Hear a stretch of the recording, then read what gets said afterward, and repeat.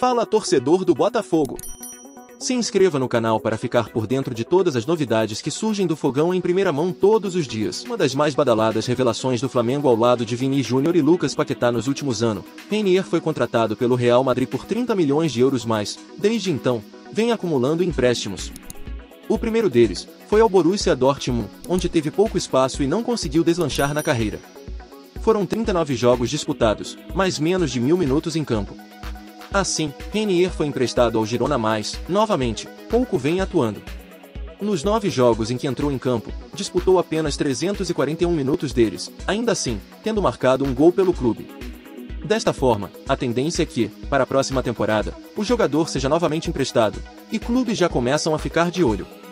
O Fichages destaca que o Botafogo aparece como um dos principais interessados, John Testor analisa um empréstimo do jogador e teria já comunicado ao treinador Luiz Castro que não se opôs a uma possível chegada do atleta.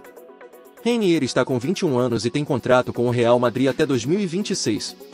Ele que viveu sua melhor fase justamente no Flamengo quando, em 2019, marcou 6 gols e forneceu duas assistências nos 15 jogos em que atuou. E aí, torcedor? O que acha da possível chegada de Reinier ao fogão? Deixe sua opinião nos comentários. Se inscreva no canal, pois a qualquer momento te atualizo com mais novidades sobre o Botafogo.